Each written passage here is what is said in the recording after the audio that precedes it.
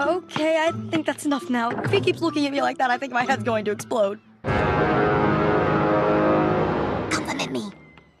Okay, I really like your face because it's not complicated. And I like your name, Carmen. It sounds like a superhero who sort of drives a lot. Also, your branches are really cool. It's like two arms raised. Makes you look like you're always winning. Or like you're wearing one of those giant cowboy hats. Ah, he's not doing anything. Kiss me.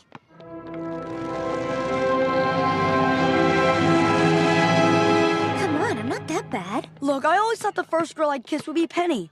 We'd be on the beach at sunset. Some fireflies would make a love heart around us, and there would be some sort of violin involved. I didn't think it would be with a chick I didn't care about, just make another dude jealous. Gumball Watterson might be a lot of things, but he is not a cheap, corruptible bimbo!